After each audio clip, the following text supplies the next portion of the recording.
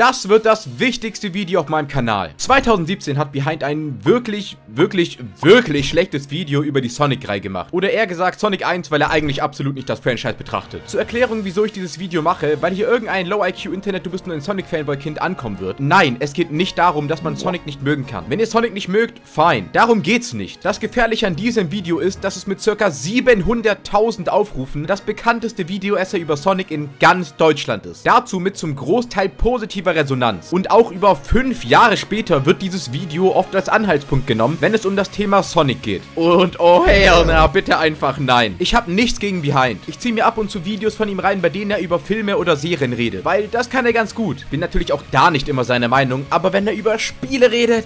Naja, er war actually vor vielen Jahren bei Giga und hat dort Spiele reviewed. Aber ganz ehrlich, es ist die richtige Entscheidung gewesen, dass er sich jetzt eher auf Filme und Serien konzentriert. Und deshalb ganz ausdrücklich jetzt, es geht hier nicht um Behind, sondern um das Video über Sonic, weil es so bekannt ist. Wer ihn hier beleidigt oder in den Kommentaren bei ihm beleidigt oder extra rübergeht zum Disliken, der wird direkt von mir weggebannt. Für immer. Statt dort Negativität zu verbreiten, verbreitet einfach hier Positivität mit Likes und Kommentaren. Normale Meinungen sind auch kein Problem, aber nichts Beleidigendes. Weil ich mache meine Videos und speziell dieses Video Video hier, um in Deutschland eine nice Sonic-Community aufzubauen und nicht um alles noch schlimmer zu machen. Und das funktioniert. Den einzigen großen Sonic-Discord ohne toxisches Verhalten mit normalen Diskussionen, den habe ich gemacht. Es ist ein Ort, wo keiner sich für seine Meinung schlecht fühlen muss und seine Sonic-Videos, Artworks und was weiß ich was mit allen teilen kann. Ist für alle zugänglich. Jeder, der da in irgendeiner Art und Weise weiterhelfen würde, kommt einfach auf den Discord. Ich habe da noch viele Pläne. Twitter und Instagram von mir, wo ich Sonic-News, Memes und so weiter baller. Meine Streams jeden Dienstag und Donnerstag, wo ich ausnahmslos jedes einzelne Sonic-Spiel spiele. Mein Zweitkanal, wo ich auf sowas sowas hier reagiere? Was zur absoluten Tag. Willkommen, Digga, was ist das? Und die vorhin erwähnten Streams geschnitten hochlade. Und natürlich der Kanal hier. Was braucht ihr noch? Epic Games Creator Code Read? Wollt ihr meine Bankleitzahl? DE852. Ich habe alle diese Sachen in der Beschreibung verlinkt. Wenn ihr eine nice Zukunft für Sonic wollt, folgt überall. Ich mache diese Sachen und dieses Video nicht, weil ich der übelste Sonic-Fanboy bin, sonst hätte ich nicht solche Videos gemacht, sondern weil ich mich auskenne und dieses dumme Gehetze mit gepaartem Halbwissen über Sonic mich die ganzen Jahre auf YouTube, Twitch und so weiter so sehr genervt hat, dass ich mich komplett darauf spezialisiert habe, mich eingelesen habe, Sachen gelernt gelernt habe und jetzt alle Spiele durchspiele, um sowas faktisch auszukontern. Ich musste mir die letzten Jahre so viel unfassbar dummes Zeug anhören. Und das nebenbei gesagt, nur weil ich erwähnt habe, dass ich Sonic mag. Und ich bin da lange nicht der Einzige. Jetzt bringe ich einfach Sonic-Fans zusammen, damit sie das ab sofort nicht mehr konstant ertragen müssen. Ich will auch nicht, dass es zu Stress kommt, aber auf dieses Video speziell muss ich eingehen, weil es so viele gesehen haben und so viele es als faktisch richtig aufgenommen haben. Teilt das Video deshalb unbedingt mit jeder Person, die das Video von Behind gut findet. Generell teilt es so viel wie es geht geht. Druckt das Video meinetwegen als Bild aus, steckt es in den Briefkasten eures Nachbarn, mir egal. Oder schickt das Video Creatern, die darauf reagieren sollen. Ich sage diese ganzen Sachen extra, weil 2017 habe ich selber noch die Meinung von Behind aus dem Video übernommen. Und es ist okay zu checken, dass man Sachen falsch gesehen hat und jetzt rationaler denkt. Zu dem Zeitpunkt habe ich halt praktisch gar kein 2D-Sonic richtig gespielt und dachte, ich mag diese Spiele einfach nicht. Und dann habe ich die Begründungen von Behind einfach übernommen. Und das ist das Schlimme. Alles, was in diesem Video gesagt wurde, wurde einfach so, ohne nachzudenken, von mir damals und heute immer noch von vielen anderen übernommen. Deshalb mache ich jetzt diese Gegenmeinung dazu. Ihr kennt wahrscheinlich den Satz, Sonic war noch nie gut. Der Satz kommt aus Amerika und war vor allem von 2014 bis 2017 ein heißes Thema von diesem komischen Mainstream-Internet-Magazin. Dieses IGN-Interview natürlich ein legendäres Beispiel dafür. Sonic yes? was never good. If you disagree, you can call the cops. They all want to have so big the cat. Der Typ rechts hat außerdem diesen Monat eingesehen, wie dumm das war und sich wortwörtlich sieben Jahre später dafür entschuldigt. Insane. I am sorry for saying that Sonic was never good. That was wrong, that was incorrect. 2014 bis 2017 war die Zeit mit Sonic Boom, falls ihr nicht genau wisst, was da abging. Behind ist der Grund, warum dieser absolut hirnverbrannte Satz in Deutschland überhaupt gesagt wird. Er ist einfach auf den Ami-Bandwagon aufgesprungen. Denn in Deutschland wurde es erst nach 2017 angefangen zu sagen. Behind sagt es öfter im Video und es steht im Titel. Sonic war schlichtweg nie ein gutes Spiel. Sonic war noch nie gut, sagt ja ganz klar aus, dass Sonic anfangs nicht gut war, dass sich mit der Zeit auch nicht geändert hat und heute immer noch nicht gut ist. Und warum so ein Satz absoluter Shit ist, sollte eigentlich schon klar sein, aber ich werde natürlich trotzdem ausführlich erklären. Behind will zwar die ganze Sonic-Reihe damit ansprechen, jedoch gibt es dabei ein Problem. Hier sind die Parts markiert, wo er über was redet. Und naja, wir haben Sonic Mania, Sonic 1, alles easy. Und dann bringt er natürlich, wie soll es anders sein, Sonic Go 6. Wow. Dann redet er über Sonic R und dann Shadow the Hedgehog. Hä? Stellt euch vor, ich mache ein Video, warum Mario nie gut war und rede dann über Hotel Mario, dann über Mario Bros. 1, dann Mario Party 10 und schließe es mit Mario Pinball Land ab. Das macht ja gar keinen Sinn. Er lässt sogar mit Absicht Banger-Spiele aus der Hauptreihe wie Sonic Adventure 1 und 2 weg, obwohl diese nicht nur stark von den Fans, sondern auch von den Kritikern gelobt worden sind mit einem ca. 85er Score bei beiden Games. Keine davon werden auch nur für eine Sekunde erwähnt. Sogar die vom Mainstream geliebten Titel wie Colors und Generations werden nie in diesem Video erwähnt. Also er nimmt die schlechtesten Picks, wovon einfach mal zwei davon komplette Spin-Offs sind. Und so will er mir erzählen, wieso Sonic nicht gut ist? Ich denke, es ist nicht so schwer zu sehen, dass das Sonic war noch nie gut Video eigentlich nur ein Video gegen Sonic 1 ist, mit ganz wenig extra Erwähnungen von anderen Spielen. Wenn man schon so ein Video machen will, das ein Franchise nie gute Seiten hatte, dann sollte man schon das allgemeine Franchise länger als drei Minuten beleuchten, abseits vom ersten Teil. Und ja, es sind wirklich nur ungefähr drei Minuten, die nichts mit Sonic 1 zu tun haben. Das Sonic-Franchise hat von dieser Art von Spielen wie Sonic 1, also Classic Games genannt, halt exakt fünf Spiele, von welchen vier davon noch vor 1995 rauskamen. Danach kam nie wieder so ein Spiel wie Sonic 1 bis Mania. Also zwischen Sonic 3 und Knuckles und Mania liegen 22 Jahre. Und auf diese Gameplay-Mechanik bezieht er sich das ganze Video über. Es macht auch gar keinen Sinn, sich so lange auf diesen Grundstein zu beziehen, wenn er im ganzen Video nicht einmal eine Sekunde explizit über Sonic 2 oder Sonic 3 Knuckles redet. Ihr wisst schon, die Nachfolger eines uralten Spiels, die Flaws ausmerzen, Sachen verbessern etc. Ähnlich wie Mario Bros. 3 oder Mario World zu Super Mario Bros. 1. Aber nee, macht ja gar keinen Sinn. Wen jucken schon Nachfolger einer alten Reihe, die viele Probleme beheben? Sonic war schließlich nie gut. Gucken wir uns passend dazu dann doch mal an, was die Kritikpunkte an der Sonic-Reihe sind. Mit frechen Vergleichen verhöhnte man den langsameren Konkurrenten. Sonic war schneller, cooler, frecher und hatte den geileren Schuhgeschmack. Fängt klassisch an mit dem Vergleich zum damaligen Konkurrenten Mario. Euch ist vielleicht aufgefallen, dass ich in diesem Video auch schon mehrere Mario-Vergleiche gekickt habe. Liegt ganz einfach daran, dass die Mehrheit der Leute die Mario-Vergleiche am ehesten verstehen. Ich bin ganz klar der Meinung, dass es 0% Sinn macht, diese Reihen zu vergleichen. Weder damals noch heute. Sie haben praktisch nichts gemeinsam, außer dass es Jump'n'Runs sind. Für Sega hat es damals Sinn gemacht, so einen Krieg anzufangen für Aufmerksamkeit. Aber gameplay-technisch hat es nie Sinn gemacht. Leider sind die Vergleiche mit Mario bis heute geblieben. Schlecht für Sega. Das Problem ist, dass wenn ich Sonic nie mit Mario vergleiche, werden es andere Leute trotzdem immer weitermachen. Wie zum Beispiel Behind, der im Video öfter Sonic mit Mario vergleicht. Oder auch im Titel, wo er sagt, dass Sonic der ewige Zweite war. Ich meine, klar, Sonic war nie wirklich auf der Nummer 1. Na und? Was ist denn schlimm daran, der Zweite zu sein? Oh nein, wir sind jetzt wohl nur Platz 2 der weltbekanntesten Videospielcharaktere der Welt. Das bedeutet ja, die Spiele können gar nicht gut sein. Ach so. In seinem Buch The Theory of Fun in Game Design schreibt der Spieldesigner Rev Costa, die Essenz guten Spieldesigns ist es, dem Spieler die eigenen Regeln beizubringen und dann abzufragen. Warum er dieses Zitat erwähnt? Keine Ahnung. Er hätte es auch einfach an sich so erklären können, weil das ziemlich basic knowledge ist. Natürlich versucht ein Spiel einem was beizubringen, während man spielt. Es ist auch nicht so, dass der Autor Rev Costa ein Riesenname ist. Er hat ein paar Spiele gemacht, die mal mehr gut, mal weniger gut ankamen und generell nicht viele. Also krass Credibility, dass er das ausgerechnet sagt, bietet das nicht. Aber nur kleiner Joke, als ob ihr dachtet, dass ich nicht weiß, warum das im Video drin ist. Der einzige Grund, warum er dieses Video macht, sind ja nur diese Schundblätter aus Amerika. Und naja, dieses Zitat hat er halt mal eins zu eins so geklaut, weil The Guardian das erwähnt hat. Behind weiß wahrscheinlich nicht mal, wer Rev Costa ist. Super Mario Bros. macht das zum Beispiel exzellent. Die Spielfigur befindet sich im Zentrum des Bildschirms. Rechts davon sieht man stets, welche Hindernisse das Spiel einem in den Weg stellt, was auf einen zukommt, was man wann und weshalb zu tun hat. Hier wendet man das Gelernte gleich hüpfend an und wird dann direkt mit Erfolgserlebnissen belohnt. Das ist perfektes Game Design. In Sonic sieht der Lerneffekt ungefähr so aus. Was ich daran so interessant finde, ist, dass, naja, alle diese genannten Dinge sich auch eins zu eins so auf Sonic beziehen lassen. Er ist in der Mitte, rechts sind die Hindernisse und man sieht, was man tun soll und wird dann belohnt. Seine Erklärung von perfektem Game Design klingt eher nach einer Beschreibung von einem ganz basic Platformer. Was, wenn ich das umdrehen würde und sagen würde, Sonic ist im Zentrum des Bildschirms. Man sieht rechts die Gefahren und Hindernisse, die auf einen zukommen und was man wann und weshalb zu tun hat. Man wird dann mit Erfolgserlebnissen belohnt. Bei Mario hingegen sieht der Lerneffekt so aus.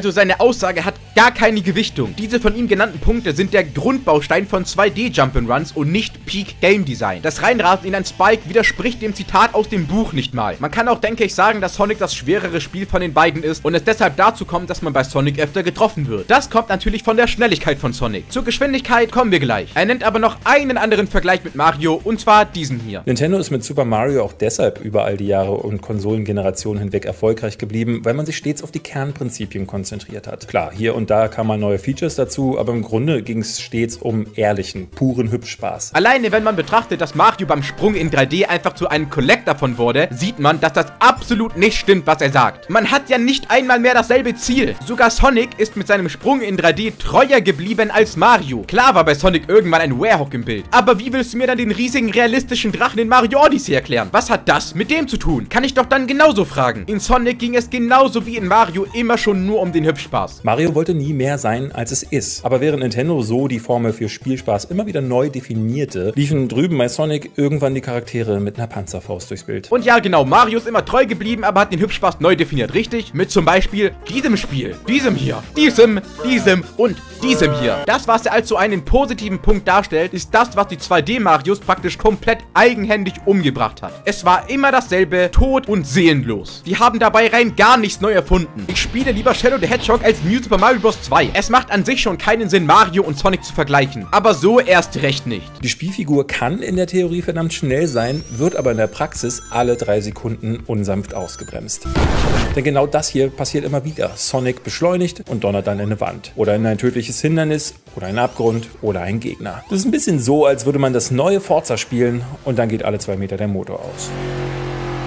Ich kann dazu nur sagen, peinlich. Ist Ihnen das selber nicht aufgefallen? Er vergleicht das Reinrasen in Stacheln damit, dass das so wäre, wie wenn in Forza alle paar Minuten der Motor ausgehen würde. Sein Gameplay, naja, zeigt, wie jemand seine Geschwindigkeit in Forza komplett falsch einschätzt und fett gegen die Leitplanke ballert. Hm, ist ja fast so, als würde der Vergleich keinen Sinn machen. Der Vergleich wäre nämlich, dass das Reinrasen in die Stacheln dasselbe ist wie das Reinrasen in eine Wand bei Forza. Also beides zu hohe, falsch eingeschätzte Geschwindigkeiten auf Leveln bzw. Strecken, wo man sich nicht so auskennt. Es ist so simpel und er selber blendet sogar das Gameplay ein und versteht trotzdem seinen eigenen Vergleich nicht. Und dann ist das so im Endprodukt drin. Er hat damit seine ganze Argumentation, die er davor aufgebaut hat, komplett selber zerstört. Das Problem ist, dass er das Prinzip der Geschwindigkeit in Sonic auch gar nicht zu verstehen scheint oder verstehen will. Dieses wahnsinnig schnelle Spiel, was mir die Werbebotschaft da versprach, das gab es gar nicht. Sonic war natürlich wesentlich flinker als die meisten Jump'n'Run-Helden seiner Zeit. Aber wirklich uneingeschränkt ist er das nur an speziellen Punkten in den Levels. Wenn er zum Beispiel auf Jump-Pads tritt oder in ein Looping befördert wird. Aber in diesen Situationen spielt sich das Spiel dann praktisch von selbst. Er meint, dass die Werbung einem sagt, guck mal, du bist so schnell, aber bist da nicht schnell. Dass das alleine schon B ist, weil wenn Sonic auch ausgebremst wird, man immer noch weitaus schneller ist als in so ziemlich jedem anderen Plattformer, lassen wir einfach mal weg. Das Prinzip der Geschwindigkeit bei Sonic ist es, dass du die Möglichkeit hast, sehr schnell zu sein, sie dir aber selber verdienen musst. Bedeutet, dass du natürlich nicht wie eine tote Katze vor deinem Bildschirm sitzen kannst und dann auf einmal erwartest, dass sich das Level mit 300 km/h durchspielt. Zugegeben ist das in Sonic 1 auch noch nicht ganz ausgereift, da es einfach zu viele langsamere Passagen gibt, wo man warten muss. Naja, wie gesagt, bei Sonic 1. Denn bei Sonic 2, 3 und Knuckles, CD und Mania funktioniert das zum Großteil einbahnfrei. Die automatischen Stellen, um den Speed beizubehalten, klingen vielleicht auf dem Papier langweilig oder nervig, aber fließen unglaublich gut ins Spiel ein und lassen einen damit richtig schnell fühlen, auch wenn man neu ist und nicht der beste Spieler. In diesen Passagen muss man aber trotzdem reagieren, da man nach diesen automatischen Stellen meistens reagieren muss, um seine Geschwindigkeit beizubehalten, indem man zum Beispiel über einen Spring springt. Geschwindigkeit einschätzen und reagieren ist wichtig in Sonic. Vielleicht spammt man nicht alle drei Sekunden den Spin Dash, wenn man nicht weiß, was gleich kommen wird. Erst beim zweiten, dritten, vierten Durchspielen kannst du das machen. Die Idee dahinter ist, das Spiel so oft zu spielen, bis man die Level im Schlaf schafft, auch wenn man anfangs struggelt. Das Spiel hat genau deswegen im Vergleich zu anderen Spielen so wenig Bestrafung, wenn man getroffen wird, weil man halt vor allem anfangs oft getroffen wird. Deshalb muss man nur einen einzigen Ring aufheben und ist wieder Full HP. Und dadurch ist das Lernen der Level viel einfacher. Wie Raph Costa in A Theory of Fun auch sagt, wir nennen es Üben. Und je mehr wir es tun, desto weniger denken wir darüber nach, was wir tun. Sonics Levels sind im Gegensatz zur Konkurrenz weit weniger geradlinig, sondern sehr weitläufig. Das ist in den Vertretern des Metroidvania-Genres eine tolle Sache. Bei klassischen Jump'n'Runs macht sowas hier aber keinen Sinn. Das ist als Beispiel nur mal die Karte des ersten Levels. Metroidvania. Ganz komischer Vergleich. Aber warum sollten denn solche weitläufigen Level keinen Sinn machen? Ja, das ist das erste Level und wenn man die Map betrachtet, sieht das nach viel aus. Wenn ihr es aber erstmal gespielt habt, merkt ihr, dass das gar nicht so viel ist, wie es aussieht und es unglaublich gut funktioniert, diese mehreren Wege übereinander zu haben. Und vor allem ist das nicht kompliziert oder so. So sieht das aus beim Spielen. Es ist nicht so, als wäre das eine unübersichtliche Kreuzung bei Metroidvanias. Ich finde es auch lustig, wie er sagt, das ist nur das erste Level, weil er damit anspielen will, dass die Level danach noch größer und noch mehr werden. Obwohl die Level danach so aussehen. Denn Sonic 1 hat das große Problem, dass es zu linear ist und nach Green Hill die Level sehr langsam werden. Fast immer nur ein Weg und viel warten. Offensichtlich hat er sich mit den Leveln einfach nicht gut auseinandergesetzt und man merkt richtig oft im Video, dass er nicht so wirklich Ahnung von dem Spiel hat. Bei einem normalen Durchlauf wird man nie alle Teile des Levels zu Gesicht bekommen. Als Spieler fand ich das damals verdammt unbefriedigend. Irgendwie hatte ich immer das Gefühl, dass mir etwas entgeht, weil ich an großen Teilen der Levels einfach vorbeijage. Und auch der Wiederspielwert hat sich dadurch nicht erhöht, denn einerseits gelangt man in viele Bereiche eher zufällig, weil man mal wieder gegen ein Jumppad gelaufen ist. Andererseits ist oftmals gar nicht recht ersichtlich, welche Teile des Levels nun passierbar sind und welche nicht. Richtig, man soll in einem Durchlauf nicht alle Wege sehen. Das ist eine Designentscheidung. Es ist immer noch kein Metroidvania. Und nur weil er hier stumpf behauptet, dass der Wiederspielwert sich dadurch nicht erhöht, heißt das nicht, dass es stimmt. Denn ja, wie er sagt, manchmal passiert es. Plötzlich rast man in einen Spring rein, der einen auf einen Weg schickt, wo man eigentlich nicht lang will. Ziemlich offensichtliche, einfache Schlussfolgerung. Beim nächsten Replay weißt du, ah, gleich kommt die Stelle mit dem Spring, da muss ich springen. Und wenn du es vielleicht bei diesem Versuch nicht schaffst, dann beim nächsten Mal. Es ist nicht so, als wäre es unmöglich, bestimmte Stellen zu erreichen. Sonic ist nicht unkontrollierbar. Du hast die Kontrolle. Ich verstehe auch nicht, wieso er so tut, als wäre es nicht klar, wo man hin muss. Nur weil du jetzt die ganze Zeit Metroidvanias im Kopf hast, heißt es nicht, dass du hier irgendwie kompliziert denken musst. Ein kleiner Tipp, du musst nach rechts gehen oder dem Weg folgen, in jedem einzelnen Level. Das war's. Gern geschehen. Der Designer des Spiels, Naoto Oshima, hat in einem Interview verraten, dass seine größte Inspirationsquelle die in den 80ern noch wahnsinnig populären Flipperautomaten waren. Und da wird schon einiges klar, denn Flippertische funktionieren anders als Videospiele. Ein zentrales Element der Automaten ist es eben, keine Kontrolle zu haben. Sobald man die Kugel losschickt, ist man ganz und gar den Hindernissen ausgeliefert. Als Spieler kann man dann gerade noch so reagieren und hat höchstens marginalen Einfluss auf Geschwindigkeit und Laufbahn der Kugel. Das Prinzip von einer Flipperkugel ist eine Inspirationquelle für die Physik von Sonic. Es ist aber immer noch ein Videospiel. Sonic hat eine Inspiration an Flippern, ist aber offensichtlich kein Flipperautomat. Man muss gar nicht so tun, als hätte man keine Kontrolle mehr, nachdem man losrast. Du kannst springen, dich im Flug kontrollieren und so weiter. Ich weiß auch nicht, warum das hier so hingestellt wird, als würde man einen Spin Dash machen und dann darf man 30 Sekunden zuschauen, was passiert und muss hoffen, dass man das Level schafft. Kommt Sonic zum Stehen, wird das Geschehen nämlich plötzlich wahnsinnig träge. Und zwar, weil die Trägheit anprogrammiert ist. Auch das orientiert sich an der Physik einer Flipperkugel. Sonic muss, um auf Touren zu kommen, erst Momentum aufbauen. Selbst in der Luft steuert er sich seltsam schwerfällig. Ja, durch die Flipper-Elemente gibt es bei den Classic Sonic-Spielen eine gewisse Trägheit. Aber genau das ist ja der Point. Du sollst deine Geschwindigkeit beibehalten, damit du nicht wieder neu Speed aufbauen musst. Das ist der Skill in dem Spiel und das Gefühl, was es so befriedigend macht, wenn du die Level erstmal richtig gelernt hast, dass du komplett durchrushen kannst. Wie er selber sagt, das ist anprogrammiert. Du musst die Geschwindigkeit und das Momentum des Spiels kontrollieren. Das musst du lernen und so kommt auch der Lerneffekt wahnsinnig schnell. Und dazu ist es ja nicht so, als wäre Sonic ein Panzer, wenn er langsam ist. Ihr nehmt einfach immer nur euer Momentum mit, sodass wenn ihr Speed habt und dann springt, dass ihr dann auch nach vorne katapultiert werdet. Ein viel besserer Vergleich als ein Flipper wäre hier eine Bowlingkugel. An sich ist sie ein schweres Objekt, aber kann sehr viel Geschwindigkeit mit sich führen durch das Momentum. So wie hier in diesem Beispiel. Das hat nichts mit schlechtem Game Design zu tun. Ganz im Gegenteil. Das ist genial, unfassbar spaßig und einzigartig. Am Ende bleibt da nicht nur der Lerneffekt aus, sondern auch Frust zurück. Im Grunde ist es paradox. Ein Spiel, welches mit atemberaubenden Geschwindigkeiten wirbt, bestraft euch immer dann, wenn es schnell wird. Dabei ist man nicht mal selber schuld. Eigentlich macht man ja nur das, was das Spiel von einem erwartet. Nochmal. Nein, es geht in Sonic darum, dass du dir die Geschwindigkeit verdienst. Der Lerneffekt sieht so aus, dass du an diesen Stellen getroffen wirst und sie dir dadurch anfängst einzuprägen, so dass du das Placement der Feinde, Springs oder Stacheln sehr schnell fast komplett auswendig kannst. Entweder machst du das, indem du Fullspeed in die Feinde reinrast oder indem du etwas langsamer spielst und es so lernst. Beides ist möglich und es führt nie wirklich zu Frust, weil es keine wirkliche Bestrafung gibt, getroffen zu werden. Die einzige Bestrafung ist, dass du deinen Speed verlierst. Das bedeutet, ihr geht bei einem Treffer kaum Risiko ein, weil ihr sehr wahrscheinlich nicht sterben werdet. Es ist allerhöchstens unbefriedigend, dass ihr euren Speed verliert. Dadurch kommt auch dieser Kick, lernen zu wollen, wie man diese Level richtig spielt, indem man sie 2, 3, 4, 5, 6 Mal spielt, bis man sie richtig gut raus hat. Nehmen wir als Beispiel nochmal Forza. Das Spiel verspricht ja auch super Sportautos mit 400 plus km/h. Aber beschwerst du dich, wenn du in eine Wand reinrast und gibst dem Spiel dafür die Schuld? Um die Strecken gut zu fahren, musst du sie erstmal kennen. Und wenn dann mal eine Kurve kommt, musst du eben vom Gas gehen. Nur weil das Spiel so schnell sein kann, muss es nicht bedeuten, dass es 100% der Spielzeit auf 400 km/h abgehen muss. Manchmal muss man eben langsamer werden, dann ein bisschen schneller und dann kann es auch mal sein, dass man irgendwo gegenläuft oder fährt und seinen Speed verliert. Wenn man sich die Geschwindigkeit nicht verdienen müsste, dann würde sich das Spiel ja auch nur automatisch spielen, beziehungsweise wäre eine gerade Linie. Das wäre in Forza genauso langweilig wie in Sonic. Selbst in den Boost-Spielen, wo du auf Knopfdruck Full Speed kommst, musst du dir das flüssige Durchkommen verdienen. Es ist kein schlechtes Game Design, dass man ein Spiel erst lernen muss. Die Classic Games sind Meisterwerke, was das angeht. Und ich bin es satt, so zu tun, als wäre es nicht so. Sonic ist halt schnell, aber wie sich das sinnvoll in ein dazu passendes Spielerlebnis einbauen lässt, wie daraus mehr als nur ein Gimmick wird, darüber hat man sich keine Gedanken machen wollen. Sonic ist und war schon immer ein Spiel der Widersprüche. Es will, dass ihr beschleunigt und dann wieder nicht.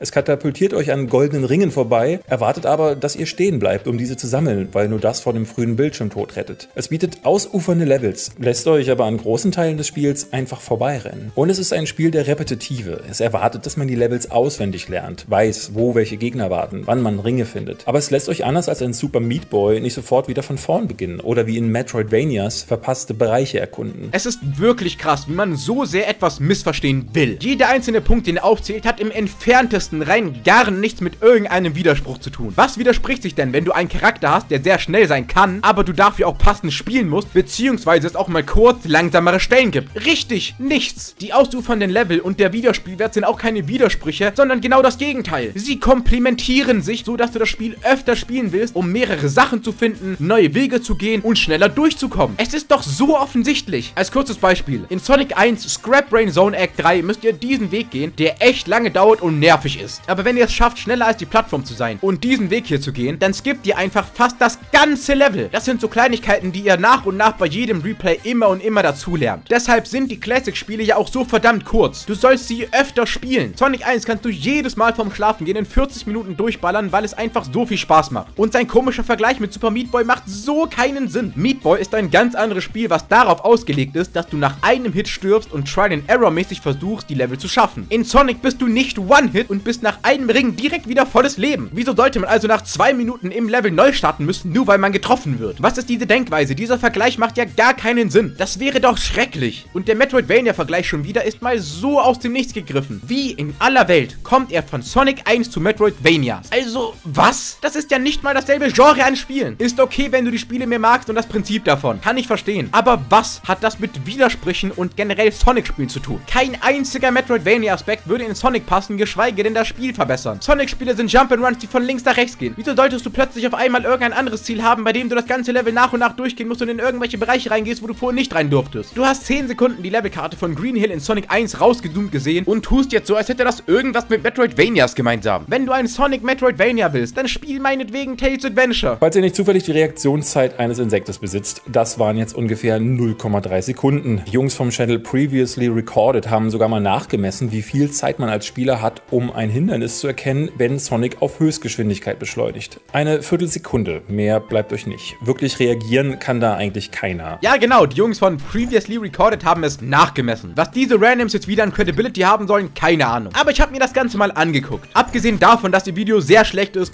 This game. besteht ihre Messung aus gezählten Frames. Aber erstens ist das, was sie gemessen haben, nicht die Höchstgeschwindigkeit von Sonic, sondern nur sein Topspeed beim normalen Laufen. Sonic kann in den Spielen noch weitaus schneller sein. Aber egal, rechnen wir mal damit. Zweitens haben sie die Frames falsch gezählt, weil sie ein 60 FPS Spiel mit 30 FPS aufgenommen haben und deshalb in ihrer Aufnahme manche Frames fehlen. Nach ihrer Messung sind es 8 Frames, aber nach meiner Messung sind es auf 30 FPS gerechnet 11 Frames. Das wären 370 Millisekunden Zeit. Wenn da statt einem Feind, der auf einen zuläuft, ein Spike oder ein stehender Feind wäre, hätte man sogar noch mehr Zeit. Die durchschnittliche Reaktionszeit eines Menschen liegt bei 180 Millisekunden. Das habt ihr vielleicht auch in der Fahrschule gelernt. Naja, klingt ja schon mal so, als hätte man mehr als genug Zeit. Wir müssen aber noch den Delay dazu rechnen. Bei Monitoren liegt er bei so circa 15 Millisekunden, bei normalen Fernsehen aber eher so bei 40. Nehmen wir also die 40. Wären dann circa 220 Millisekunden, die er mindestens Zeit braucht. Also man hat praktisch 150 Millisekunden extra Zeit zum Reagieren. So zu tun, als wäre das menschlich nicht möglich zu reagieren, ist einfach lächerlich und faktisch widerlegbar. Sonic ist ein schnelles Spiel, was Reaktion und Fokus ganz groß schreibt. Also muss man sich logischerweise auch sehr konzentrieren, wenn man gut abschneiden will. Oder man spielt halt etwas langsamer. Mal abgesehen davon, dass getroffen werden keine große Bestrafung ist. Außerdem, wenn ihr eine sehr schnelle Reaktion habt, dann könnt ihr auch locker in 130 Millisekunden reagieren und dann noch gepaart mit einem Monitor, der 15 Millisekunden Delay hat, dann seid ihr gerade mal bei 145 Millisekunden von 370, die ihr Zeit habt. Um einen draufzusetzen, die originale europäische PAL-Version, also die, die Behind als Kind gespielt haben muss, läuft sogar nur in 50 Hertz. Es ist also praktisch in leichter Zeitlupe, ungefähr 17% langsamer. Das bedeutet, dass man in der Version sogar circa 430 Millisekunden Zeit hat. Wir können aber auch statt einer alten Version eine neuere Version nehmen, wie zum Beispiel die 16 zu 9 Version jetzt bei Sonic Origins. Da haben wir 470 Millisekunden Zeit. Also weitaus mehr als genug. Ich kann euch Sonic Origins außerdem sehr stark empfehlen für so 20 Euro, speziell wenn ihr die Classic Games noch nie gespielt habt. Und auch wenn ich euch jetzt erklärt habe, dass ihr genug Zeit zum Reagieren habt. Es geht nicht nur um Reaktion, sondern auch darum, die Level auswendig zu lernen. Also ja, super Messung, previously recorded und hat super zum Video beigetragen. Für mich sind genau das die Gründe dafür, weshalb Sonics Schritt in die dritte Dimension nie von Erfolg gekrönt war. Wenn schon der Urvater der Reihe in 2D spielmechanisch schwerwiegende Probleme hat, wie sollte es dann der nachfolgenden Generation anders gehen? Wenn die von dir genannten Punkte angeblich die Gründe waren, warum Sonic Sonic in 3D nicht funktionieren kann. Dann erklär mir mal bitte, wieso Sonic in 3D sich nicht wie ein Flipper steuert, die Level meist sehr linear und übersichtlich sind und man endlos viel Zeit zum Reagieren hat. Erklär mir bitte, wieso sich kein einziger deiner genannten Kritikpunkte auch nur auf ein einziges 3D-Sonic-Spiel beziehen lässt. Also was sind denn dann die Gründe, weshalb ein 3D-Sonic nicht funktioniert? Sein einziger wirklicher Kritikpunkt, der sich nicht nur auf Sonic 06 bezieht, ist der hier. Auch hier hat man null Kontrolle über die schnellen Sequenzen in Loopings oder auf Schienen. Auch hier versagt das Spiel, wenn das Tempo mal nachlässt. Automatische Sektionen.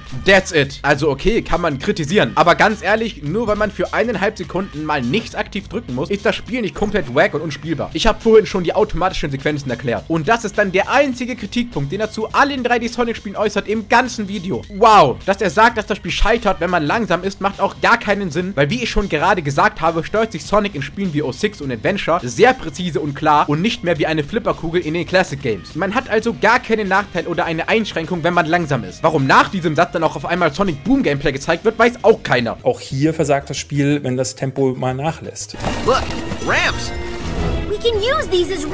War natürlich aber auch ganz wichtig, einen Sonic 06 Part im Video drin zu haben, um darauf seine Beispiele zu beziehen. Gäbe ja auch keine besseren Spiele dafür, weil damit kann man ja schließlich zeigen, wie buggy die Spiele von Sonic Team immer sind. Ist ja nicht so, als wären Sonic 06 und Sonic Heroes die einzigen buggy Spiele vom Sonic Team. Ach so, doch, genau so ist es. Ach so, na dann. Er redet ja bestimmt noch über viele andere Mainline Sonic Spiele außer Sonic 1 und Sonic 06, wo man die Punkte dann noch besser drauf beziehen kann, richtig? Mit Sonic R Was zur Hölle? versuchte Sega konsequenterweise das Spiel auf die Essenz des Schnellseins herunterzubrechen, dass man dafür aber auch eine halbwegs passable Grafik oder eine annähernd brauchbare Steuerung braucht. Das kam ihnen offenbar nicht in den Sinn. Was ist dieses Video? Ich werde in diesem Video nicht auf einen Sonic Spin-Off Racer eingehen. Aber kurz gesagt, er versteht auch dieses Spiel nicht, denn es steuert sich nicht wie ein 3D-Plattformer, sondern wie der Name auch schon sagt, wie ein Racer. Die Charaktere steuern sich wie Autos, so als ob sie vier Räder hätten, nicht wie Charaktere aus einem 3D-Plattformer, auch wenn es auf den ersten Blick vielleicht so aussieht. Krass, dass er außer diesen Games nur noch 5 Sekunden über Shadow the Hedgehog redet und sagt, dass es nichts mit Sonic Games zu tun hat. Aber was das hier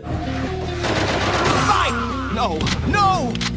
Spare me. mit dem hier zu tun haben soll, verstehen nicht einmal mehr beinharte Fans. Er hat in diesem Video mehr Spiele aus anderen Franchises erwähnt als Sonic-Spiele selber. Man kann ja mal ein, zwei Beispiele von anderen Franchises drin haben. Aber erst Mario, dann Metroidvanias, dann Forza, Super Meat Boy und dann noch das hier? Ein großartiges Beispiel, wie man Geschwindigkeit in einen 2D-Jump'n'Run integrieren kann und dem Spieler dabei trotzdem noch die nötige Kontrolle überlässt, liefert zum Beispiel Rayman Legends. Da gab es diese brillanten Passagen hier. Da verschmelzen dann Höchstgeschwindigkeit mit Rhythmusgefühl, toller Musik und einer brillanten Präsentation. Und das rockt. Wortwörtlich. Was sind das denn durchgehend für Vergleiche und Beispiele? Nichts von diesen Sachen hat irgendwas mit Sonic zu tun und keine dieser Sachen würde Sonic verbessern oder sich auf Sonic übertragen lassen. Sonic ist kein Rhythmusspiel, also wieso kommt ihr jetzt auf einmal mit Rhythmusspielen an? Die Riesenlevel mit vielen Wegen sind doch eine der wichtigsten Teile an Classic Sonic Games. Wieso sollte denn jetzt einem die komplette Kontrolle genommen werden, dass man einen Autorunner hat, bei dem man auf die Melodie richtige Knöpfe drücken muss? Das ist doch ein Riesenwiderspruch zu dem, was er kritisiert hat, wenn er sagt, dass man wenig Kontrolle hat in Sonic-Spielen. Weitläufige Level mit Wiederspielwert funktionieren anscheinend in seiner Welt nicht, weshalb er konstant Sachen nennt, die er mehr mag, um das so zu argumentieren, dass die Spiele besser sind und besser funktionieren, ohne zu sagen, wieso das jetzt so bei Sonic funktionieren würde. Denn es kommt direkt nochmal ein Vergleich. Und dass man nicht unbedingt wie ein Irrer durch die Levels hetzen muss, um Geschwindigkeit zu erzeugen, hat beispielsweise Orient the Blind Forest gezeigt. Da gibt es immer wieder Passagen, in denen man unter Zeitdruck einer Flutwelle entkommen muss. Das ist dann angenehm knifflig, steuert sich aber präzise und direkt. Und das sind jetzt nur zwei Beispiele. Ich bin mir sicher, euch fallen in den Kommentaren sogar noch weitere ein. Und dann sagt er noch, eine fallen bestimmt noch mehr Beispiele ein. Bestimmt fallen mir noch mehr Beispiele ein, wo Spiele schnell sind. Und dann, was hat das mit irgendwas zu tun? Weil andere Spiele aus anderen Gründen schnell sind, ist das auf einmal ein ausschlaggebender Punkt, warum Sonic nicht funktioniert oder wie? Behind scheint Sonic einfach nicht zu verstehen und will es auch irgendwie gar nicht. Er ignoriert offensichtliche Punkte oder dreht sie so, dass sie unlogisch erscheinen, ohne weiter darauf einzugehen. Er mag halt offensichtlich Sonic-Spiele nicht und hat sich das hiermit irgendwie versucht zu erklären, stolpert aber einfach nur mit leeren Worten oder komischen Schlussfolgerungen vor sich hin. Wenn ihm Sonic zu schnell ist und er darauf nicht klarkommt, ist das gar kein Problem.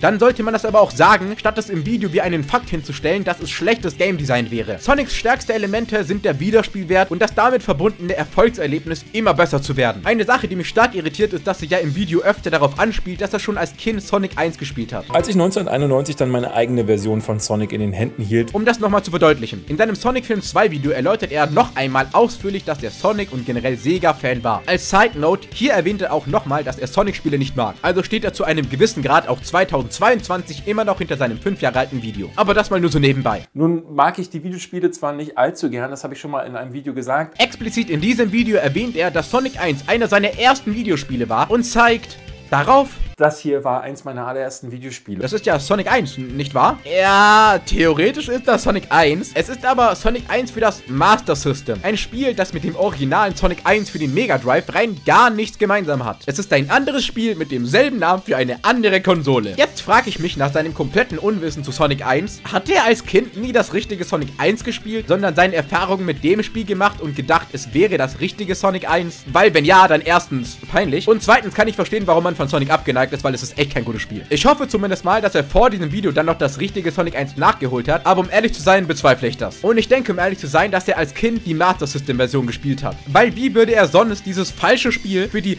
falsche Konsole dahinstellen und ihm würde es nicht auffallen. Richtig, indem er exakt diese Version mit dieser Hülle als Kind hatte und das als richtiges Spiel erachtet. Das Ding steht außerdem in fast allen seinen Videos im Hintergrund. Man merkt, wie wenig sich Behind wirklich mit der Sonic-Materie auseinandergesetzt hat. Vor allem bei so einem großen Thema wie die ganze Sonic-Reihe, wo man eigentlich ganz viel recherchieren muss. Wie gesagt, er erwähnt kaum Spiele der Reihe, geht kaum richtig auf die Spiele ein, die er erwähnt und hackt eigentlich von Anfang bis Ende nur darauf rum, was ihm an der Designphilosophie von Sonic 1 nicht gefällt. Nur die Designphilosophie. Er redet ja nicht mal darüber, wie sich diese Ideen aufs Spiel auswirken, sondern er sagt lieber, wie fatal es ist, dass Sonic auf Flipper-Automaten aufbaut, ohne zu sagen, wieso es denn jetzt im Spiel nicht gut ist oder es nicht funktionieren würde. Würde sich dieses Video nur auf Sonic 1 beziehen, wäre es schon nicht gut. Aber mit so wenig Wissen und Inhalt dann das ganze Franchise beleuchten zu wollen, führt zu einem absoluten Trainwreck. Dieses Video ist definitiv das schlechteste Video über ganz Sonic in ganz Deutschland. Er hat ganz klar keine Ahnung von Sonic und hat den Release zu Sonic Mania damals als passenden Augenblick gesehen, diese ganzen Trash-Artikel aus Amerika mit dem jahrelangen Sonic war noch nie gut Zeug nach Deutschland zu bringen. Wieso dieses Video so eine positive Resonanz hat, kann ich mir bis heute nicht erklären. Ich hoffe, dieses Video verliert langsam mal die Bedeutung, die es hat. Vergesst nicht, teilt das Video, liked das Video, folgt mir auf allen Social Media Plattformen in der Beschreibung. Wenn ich auch nur eine Beleidigung gegen Behind sehe, werd ich's sauer. Am Ende des Tages geht es hier doch nur um ein Videospiel-Franchise. Wir sehen uns beim nächsten Video. Bis dann.